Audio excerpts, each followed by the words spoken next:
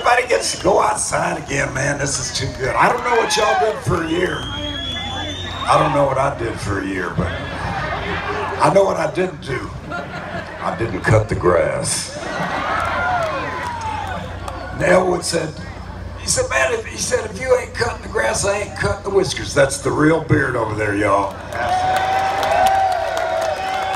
Ain't no pin on tonight, no way.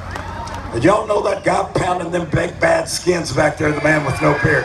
Frank Beard like that. Oh yeah. I like that Elwood taking that bottom end on that, because he's bad and you're nationwide.